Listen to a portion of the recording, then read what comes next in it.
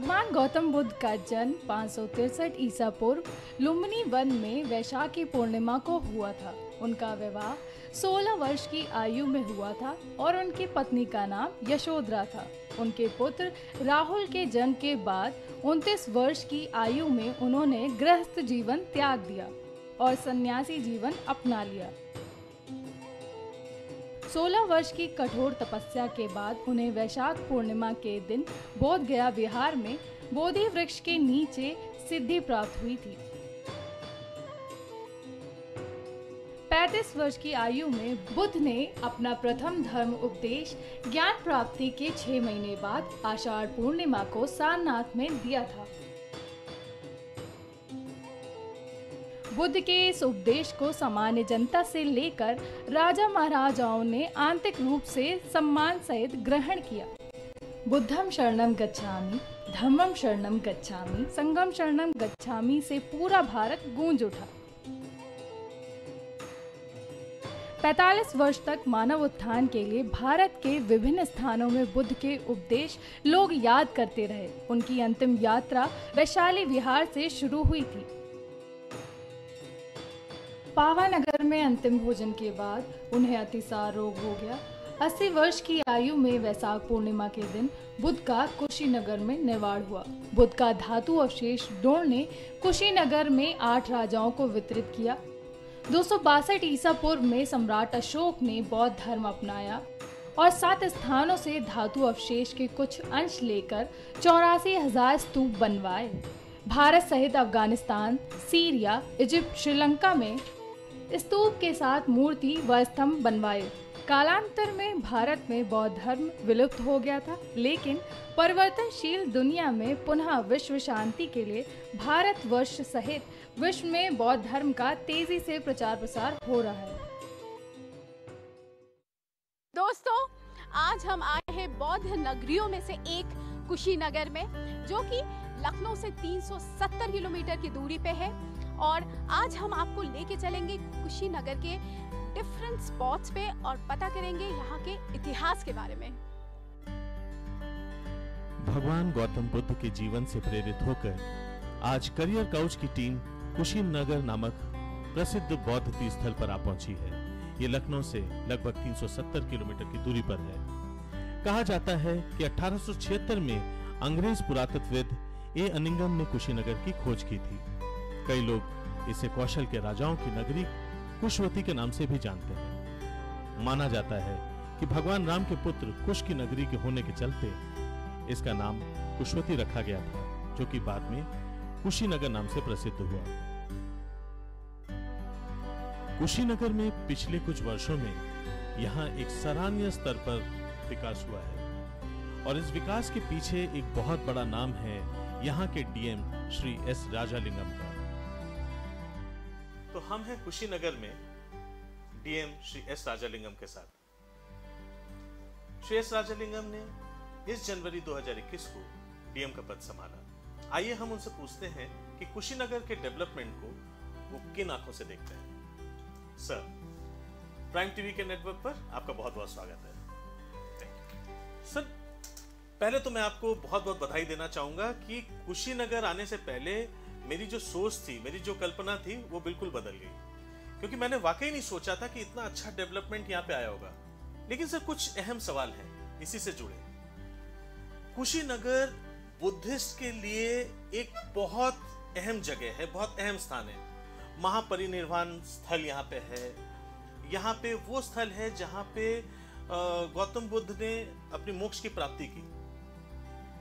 लेकिन ये सारी चीज़ें जो हैं, सिर्फ़ और सिर्फ़ बुद्धिस्ट तक सीमित रह गई और हम इसको केटर करते रहे इंटरनेशनल टूरिज़्म के लिए, जिसकी एक अपनी आप में एक सीमा है।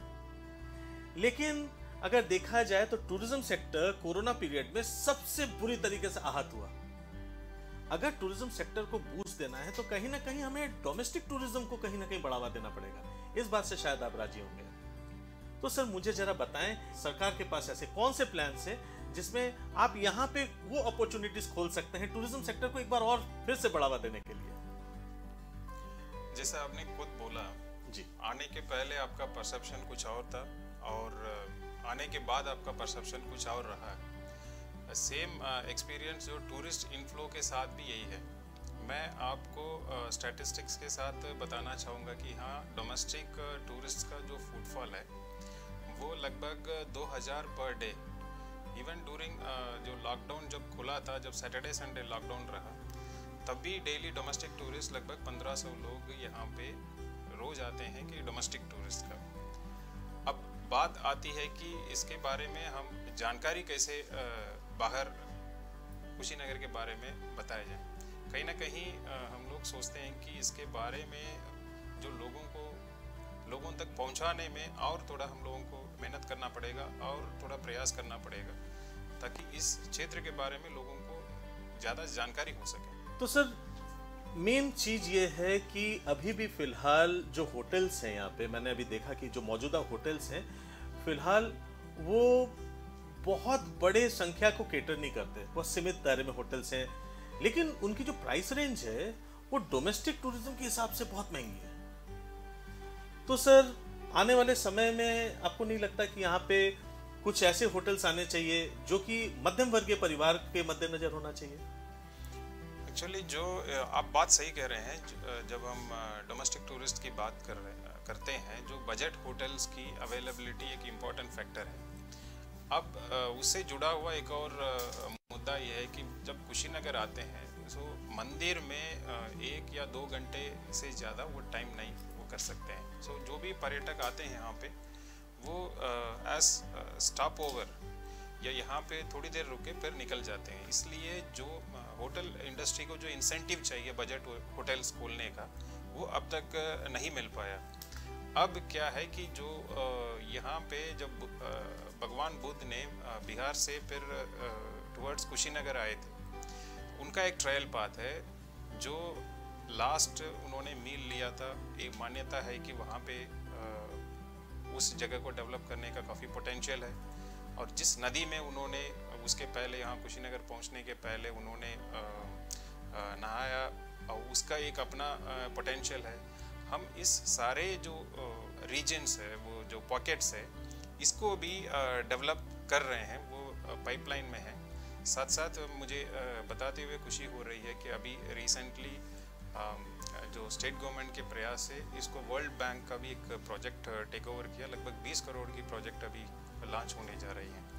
वंस यहाँ की जो स्टे इतने स्पॉट्स आपके डेवलप हो जाएँगे तो यहाँ स्टे करने के लिए भी लोग प्रेरित होंगे और वहाँ उन, उनका एक रहेगा कि मजबूरी हाँ मुझे एक दिन रुकना पड़ेगा तब मैं सारे साइट्स देख सकता हूँ। तो होटल्स अपने आप में आ जाएगा। इसके साथ साथ जो हॉस्पिटैलिटी सेक्टर में जो बजट होटल्स है उनको प्रशासन की ओर से हम लोग भी फैसिलिटेट करते हैं। यदि उनको लैंड एक्विजिशन में या फिर वहाँ उनसे लोकल से बातचीत करके नेगोशिएट करने में भी आ, उसमें भी हम लोग मदद कर रहे हैं ताकि ज़्यादा से ज़्यादा आवे। एंड आई एम श्योर कि बहुत जल्दी ही इसमें हॉस्पिटैलिटी सेक्टर में आपको एक चेंज देखने को मिलेगा और आप जो कहें कि that is true we need more budget hotels to accommodate more and more domestic tourist sir, देखते ही देखते कुशीनगर एयरपोर्ट तो यहाँ पे आ गया, वो भी international airport Kushinagar international airport आ तो गया, लेकिन अभी भी रेल कनेक्टिविटी के लिए हम लोग कुछ नहीं कर रहे हैं। तो आपको नहीं लगता कि रेल कनेक्टिविटी एक बहुत बड़ी बाधा बन रही है कुशीनगर को as a tourism spot develop करने में? नहीं, रेल कनेक्टिविटी होनी चाहिए। जैसे मैं बता दूँ it is well connected by roads आपको जो main N S twenty eight जो है कुशीनगर को सीधे टच करता है। So from Delhi you can directly come it's four lane road आपके लिए। एंड एस यू सेड वो इंटरनेशनल एयरपोर्ट भी है। हाँ रेल कनेक्टिविटी uh, होनी चाहिए जिससे कि uh, ज़्यादा संख्या पे लोग आएँगे। सो ऑनरेबल सीएम सर ने इस इसको uh, जो रेल मंत्रालय के साथ टेकअप किए हैं। इवन uh, उन्होंने एक डी uh, लेटर भी uh, माननीय रेल मंत्री जी को भी लिखा है। इसको स्टेट गवर्नमेंट अग्रेसिवली परस्यू कर रहे हैं। और उम्मीद है कि शीघ्र ही इसमें आने की उम्मीद है।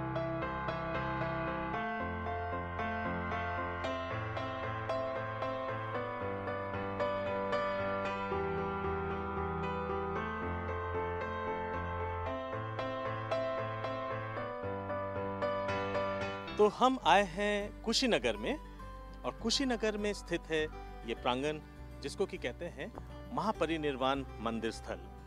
महापरिनिर्वाण मंदिर स्थल, ये वो स्थल है, जहाँ पे प्रभु गौतम बुद्ध अपनी मोक्ष की प्राप्ति किया था उन्होंने यहाँ पे। इस जगह को जो उन्होंने चयन किया था, इसके पीछे भी बहुत बड़ी कहानी है। लेकिन इन सब कहानियों को छूने से पहले, मुझे बताने में बहुत खुशी हो रही है कि कुशीनगर से जुड़ा एक क्षेत्र है, तहसील है काशिया।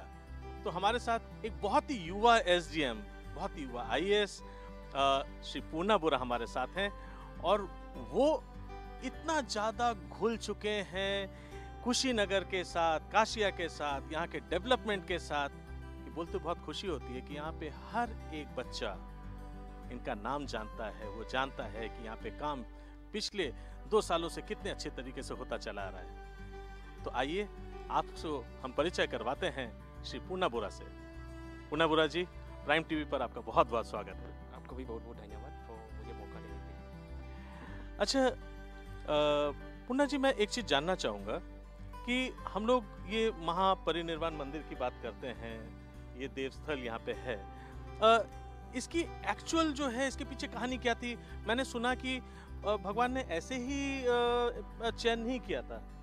ये कुछ महासालागार स्थल कुछ कहा जाता था तो इसके पीछे का इतिहास क्या रहा? इतिहास के पन्ने में अगर हम जाएँ तो भगवान बुद्ध जब वैशाली से कुशीनगर के लिए आए थे तो पावानगर में अंतिम भोजन किए थे। उसके बाद कुकुट्ठा जो नदी है, उसको क्रॉस करके कुशीनगर में आए थे। तो कुशीनगर पे बगल में ही आपका माथा कुंवर मंदिर है, जहाँ पे भगवान बुद्ध ने अंतिम सिप ऑफ़ वाटर लिए थे।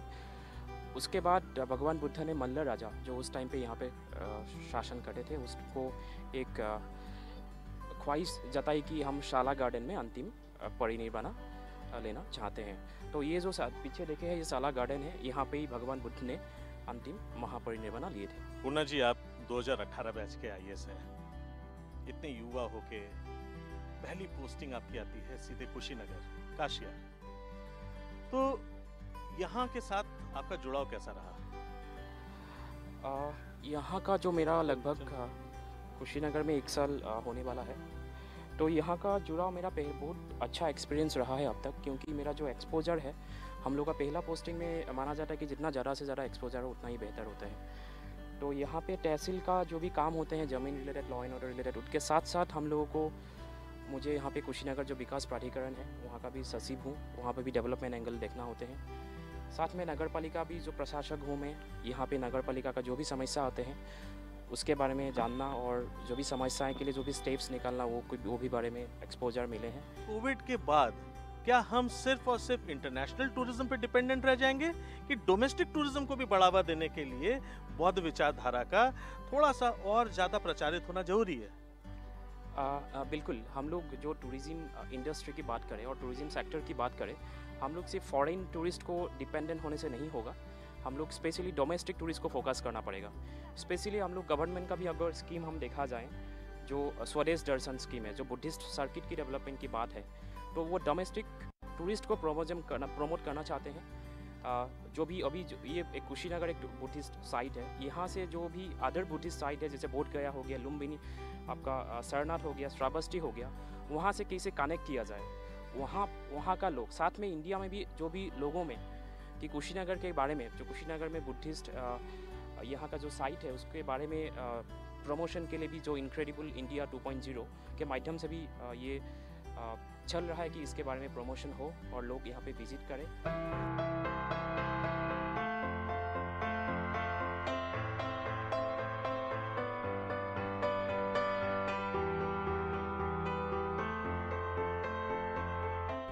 चलते चलते थोड़ी दूर में मुझे ये बेल दिखाई दी। ये जो बेल है, ये अष्ट धातु से बना हुआ है और निंग मापा मेडिकेशन सेंटर कैलिफ़ोर्निया से ये बना हुआ है। आप अगर बहुत गौर से इसको देखेंगे तो आपको दिखाई देखा इसमें टिबेटियन स्क्रिप्ट जो है इनग्रेव्ड है। तो हमारे साथ हैं श्री त्वरित किशोर राय। त्वरित जी, यहाँ पे एक जाने माने समाज सेवी हैं। और देखा जाए तो मंग, इस मंदिर प्रांगण के साथ वो पिछले 25 साल से जुड़े हुए हैं। कई वर्ष पहले ये बंगाल छोड़ के कुशीनगर में आए और यहाँ की जो स्पिरिचुअलिटी है यहाँ का जो एक एक वो जो शांतिमय एक जो वातावरण है उसके साथ ही इस तरीके से जुड़ गए कि उसके बाद यहीं पर बस गए। तो आइए बात करते हैं त्वरित जी से और जानते हैं कि ये महापरिनिर्वाण स्थल जो है उसका महत्व और किस प्रकार से है? त्वरित जी, लगभग 25 वर्षों से आप कुशीनगर में बसे हैं। यहाँ पे आपका एक छोटा सा व्यवसाय है। आप समाज सेवा से जुड़े हुए हैं।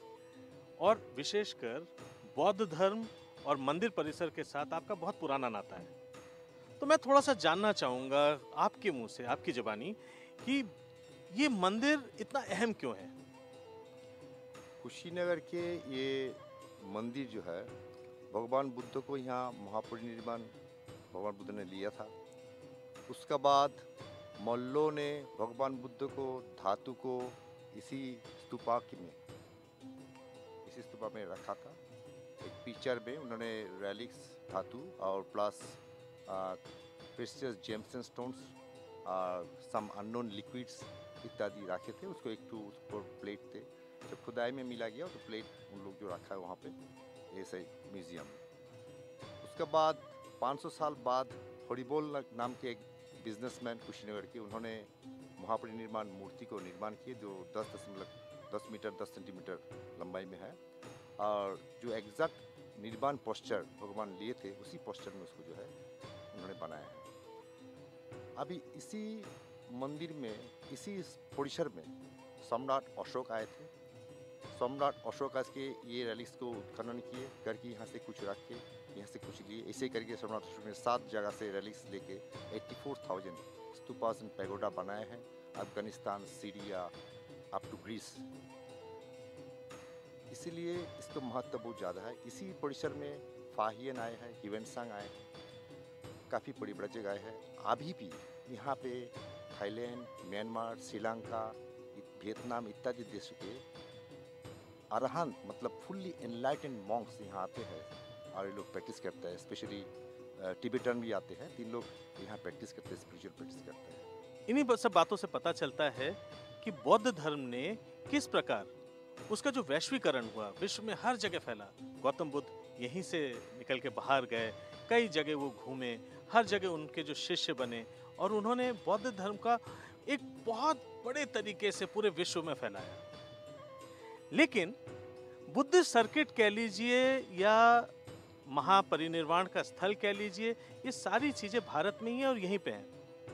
हमारा उद्देश्य भी कुछ ऐसा ही है। हम यही जानना चाहते हैं कि कुशीनगर जैसे क्षेत्र में यहाँ पे आने वाले समय में उद्योग कैसा रहेगा जॉब अपॉर्चुनिटीज़ कैसे बढ़ेंगी, यहाँ किस प्रकार से हम लोगों को एक नया आयाम देंगे।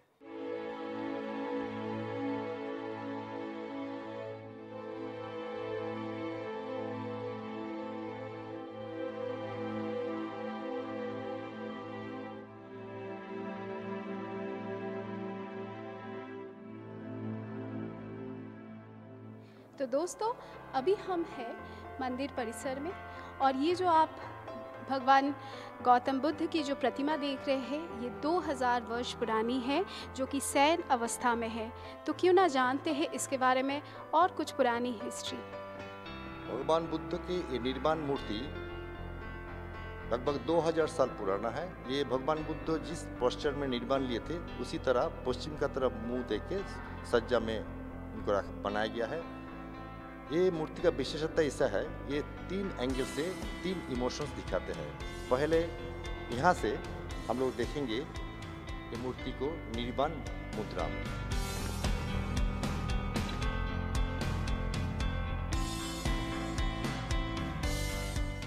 बीच में से हम लोग इसी एंगल से अगर देखते हैं मूर्ति को हम लोग देखेंगे इन्हें भगवान बुद्ध के जो फेस है, ये चिंता का मुद्रा में दिखाई जाता है।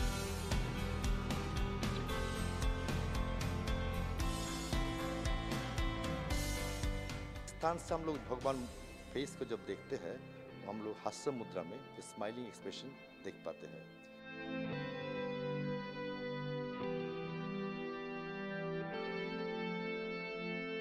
बहुत ही खूबसूरती के साथ रॉय सर ने हमें बताया और हम ये भी बता देते कि ये जो खूबसूरत सी गौतम बुद्ध की जो प्रतिमा है, यहाँ पे शयन अवस्था में, ये 10.1 मीटर की लंबाई में है और ये रेड सैंड स्टोन से बनाया गया है। तो हम नीचे जो है, अब और थोड़ा सा हम दिखाएँगे आप लोगों को और इसके बारे में भी हम थोड़ा सा जानते हैं कि ये जो नीचे जो है प्रतिमा या मूर्ति, इसके बारे में थोड़ा सा बताइए सर ये मूर्ति ये मूर्ति को अनुमान अनुसार ये डॉक्टर जीवक, जो भगवान बुद्ध का अटेंडेंस फिजिशियन था, उनका मूर्ति है। ओके तो अगर हम थोड़ा सा और आगे बढ़ते हैं तो एक खूबसूरती खूबसूरत सी हमें और पोजीशन दिखाई देता है इसके बारे में बताइए। हाँ, ये बीच में है ये ध्यानासन में बैठे हुए हैं इनको ये इनको डिपिट करता है जो सुभद्रा लास्ट डिसाइपल ऑफ़ भगवान बुद्ध सुभद्रा। ये जो है अंतिम में ये आनंदा जिन्होंने हमेशा भगवान को साथ दिया भगवान को देखभाल करते थे उन्होंने एक्चुअली भगवान का काजिन है भगवान से एल्डरली थे उन्होंने। एल्डर ब्रदर थे काजिन एल्डर ब्रदर तो भगवान को हमेशा वो साथ देते थे सुख दुख में हमेशा जहाँ भी चल रहे आनंद का। वाह क्या लीला है भगवान की। तो हम जो है अगर थोड़ा सा इनके चरण की तरफ़ जाएँगे तो हम देखेंगे कि इनके जो पैर के नीचे जो है चक्र बना हुआ है तो हम पूछते हैं इसकी थोड़ी विशेषता। हाँ भगवान बुद्ध का कुछ लक्षण था तो इनका पेड़ के नीचे हम लोग देख पाते हैं चक्र। दोनों पेड़ के नीचे चक्र है, हाथ में भी चक्र है। ये चक्र का, चक्र केवल बुद्ध को ही होता है, सबको पेड़ में ऐसा चक्र नहीं रहता है। जो बुद्ध होगा, उसी इंसान का पेड़ के नीचे ये चक्र रहता है। धन्यवाद आपका कि आपने बहुत ही अच्छी जानकारी हम लोगों को दी है, जो हमें हमें से बहुत कम लोगों को इसके बारे में पता है।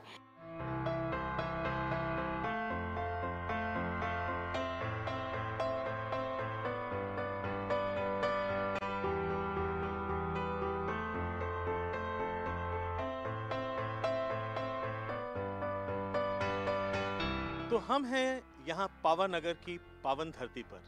पावानगर कुशीनगर से लगभग 15 किलोमीटर की दूरी पर है। कहा जाता है कि भगवान बुद्ध ने अपने महापरिनिर्वाण पाने से पहले यहाँ पे अंतिम आहार किया था। इसके बारे में और इतिहास जानते हैं श्री टीके राय साहब से। राय साहब, मैं ये जानना चाहूँगा पावानगर का बेसिक इतिहास बुद्धिज्म से जुड़ा किस प्रकार है? भगवान बुद्ध ने 45 वर्ष मानव समाज के उत्थान के लिए शिक्षा देने के बाद वैशाली से अंतिम यात्रा शुरू किए थे। उसके तत्पश्चात उन्होंने पावानगर आके पहुँचे। ये स्थान वो स्थान है जहाँ भगवान बुद्ध ने अंतिम भोजन ग्रहण किया था चुंडा का पास। चुंडा एक सोनार थे। उन्होंने यहाँ भगवान को अंतिम भोजन ग्रहण करने के लिए अनुमति मांगा। भगवान ने बोला, चुंडा तुम्हारा भोजन मो- ग्रहण कर सकता हूँ, केवल एक शर्त के साथ। तुम्हारा एक जो आइटम केवल मैं ग्रहण करूँगा, संघ का कोई लोग ग्रहण नहीं करेगा। चुंडा मंजूर हो गए, उसके बाद भगवान ने नेक्स्ट मॉर्निंग जो है, वो भोजन लिए। उसमें जो आइटम था, भगवान केवल भगवान ग्रहण किए थे, वो था शकर मद्धव इसमें कन्फ्यूशन है। काफ़ी लोग सोचते हैं शुक्र मद्धव सूर का मांस है, नहीं। शुक्र मद्धव शकर मद्धव एक काइंड ऑफ़ वेजिटेशन एक माशरूम जैसा है, अभी भी यहाँ होते हैं। वो ग्रहण करने के बाद भगवान को सीवियर डिसेंट्री हुआ तो डिसेंट्री के बाद में भगवान यहाँ से प्रस्थान किए और कुशीनगर की तरफ़ चलते हुए काकुता नदी पहुँचे। तो ये था भगवान बुद्ध के कुछ आखिरी क्षणों के, उनके आखिरी पलों की कहानी। लेकिन ये कहानी यहाँ अंत नहीं होती। जैसा कि रॉय साहब ने बताया कि ये कहानी यहाँ से आगे बढ़ती है कुकुता नदी की तरफ़। तो आइए चलते कुकुता नदी।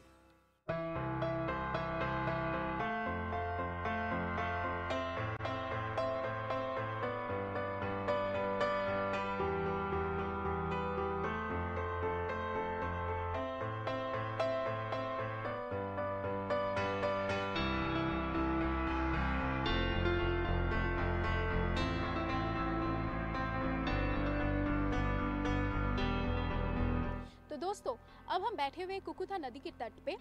माना जाता है ये जो मेरे पीछे नदी आपको दिख रही है, ये नेपाल से कनेक्टेड है। तो इतिहास में यही लिखा हुआ है कि पावा नगर से निकलने के बाद जहाँ पे उन्होंने अंतिम भोजन किया था, उसके बाद वो यही जगह पे आए थे और इस, इसके इतिहास के बारे में हमारे साथ पूर्णा जी जुड़े हुए हैं जो हमें और बताएँगे। जैसे कि आपने बताए हैं कि पावा नगर में भगवान बुद्ध ने अंतिम भोजन किए थे। और वहाँ पे भोजन होने के बाद उनका जो डिसेंट्री बोला जाता है, पाली भाषा में अतिसार बोला जाता है डिसेंट्री हुआ था। और डिस होने के बाद जब आप भगवान बुद्ध वहाँ से यहाँ आए थे तो यहाँ पे इस घाट में ही कुकुठा नदी में ही अंतिम स्नान किए थे और यहाँ पे कुछ देर के लिए विश्राम किए थे, उसके बाद आप भगवान बुद्ध कुशीनगर के लिए निकल पड़े थे। तो यही इस जगह का हिस्ट्री है। तो पूर्णा जी ऑलरेडी यहाँ पे काफ़ी सारा डेवलपमेंट्स मुझे दिखाई दे रहा है तो मुझे और यहाँ के बारे में जानकारी दीजिए। हाँ जी बिल्कुल। जो ये आप स्पॉट देखे हैं, ये कुकुट्ठा नदी का नदी का घाट है, जो भगवान बुद्ध ने पावानगर से यहाँ आए थे और यहाँ पे अंतिम स्नान करके और यहाँ पे विश्राम किए थे, क्योंकि ये काफ़ी महत्वपूर्ण जगह है स्पॉट है बुद्धि, बुद्ध समाज के लिए और प्लस टूरिज़्म का पॉइंट ऑफ़ व्यू से भी। तो यहाँ पे काफ़ी विकास करने का इस एरिया का प्लान है, जैसे वर्ल्ड बैंक का एक चार करोड़ का प्रोजेक्ट आया हुआ है, जिसमें आपका ये देखे होंगे ये जो घाट है, इसको हम लोग और एक्सटेंड किया जाएगा। साथ में ये नदी का जो दूसरा साइड है, वहाँ पे एक पार्क बनाया जाएगा। प्लस आपका यहाँ पे जो टूरिस्ट के लिए जो बेसिक फैसिलिटीज़ है टॉयलेट्स रेस्ट रूम लाइटिंग वो रखा जाएगा। प्लस ये जो आप रास्ता देखे होंगे, ये नदी के किनारे किनारे एक हम लोग हेरिटेज पाथवे डेवलपमेंट का प्लान है कि लोग यहाँ से लेके पाँच किलोमीटर तक पैदल से एक वॉक कर सकते हैं। जो नदी के किनारे जंगल में एक काइंड ऑफ़ एक ट्रैकिंग का प्लान है। और बाकी ये जो दो रास्ते में हम लोगों ने प्रवेश द्वार का भी प्रोविज़न है कि बुद्धा का द्वार बनाया जाएगा कि ये सुंदर काफ़ी सुंदर बने। मुझे लगता है ये अगले दो साल में ये प्रोजेक्ट कंप्लीट हो जाएँगे और काफ़ी सुंदर दिखेंगे और टूरिज़्म कुशीनगर में टूरिज़्म को प्रमोट करने के लिए काफ़ी काफ़ी अच्छा स्पॉट होंगे। तो अभी आप सुन रहे थे कुकुता नदी की इतिहास। अगर इस पर आप देखें, बहुत खूबसूरती से लिखा हुआ है कि कुकुता नदी में जब ईश्वर भगवान गौतम बुद्ध आए तो वो पानी में गए, उन्होंने स्नान किया थोड़ा सा पानी पिया। उसके बाद वो पानी से बाहर निकलते हैं और यहाँ पे कोई आम का पेड़ रहा होगा, उस आम के पेड़ तक वो गए। उन्होंने वहाँ पे इंतज़ार कर रहे चुंडक से कहा कि कृपया मेरा आस्तीन, ऊपर का आस्तीन जो है वो चीबर कह के एक वस्त्र होता है जो कि बुद्धिस्ट लोग पहनते हैं, उसको उन्होंने कहा कि उसको थोड़ा सा फोल्ड कर दें। चार भाग में उस वस्त्र को रख दें। मैं बहुत थका हुआ हूँ। मैं थोड़ी देर आराम करना चाहता हूँ। एक एक गाथा, एक कथा का अंत यहाँ पे हुआ। लेकिन देखिए, बात ये आती है, हम लोग अपने उद्देश्य को साधने के लिए तो कई बातें बड़ी बड़ी करते हैं। लेकिन जब बात आती है पुरातत्व चीज़ों के मेंटेन करने की तो उसमें हम लोग कोई भागीदारी नहीं निभाना चाहते। यहाँ पे देखिए, लोग आज भी आके अपने हस्ताक्षर और तरीके तरीके से गंदा करने को चले आते हैं। दोस्तों, जब तक हम खुद अपने में से अगर थोड़ी सी इंसानियत नहीं रखेंगे सिविलाइज नहीं होंगे, तब तक ये पुरातन चीज़ें कभी भी हमारे भारत देश में कभी रह नहीं पाएँगी। इस पुरातन चीज़ों को बनाए रखने के लिए आपकी भी सेवा की ज़रूरत पड़ती है। अगर कुछ ना कर सकें, कम से कम गंदा तो ना करें।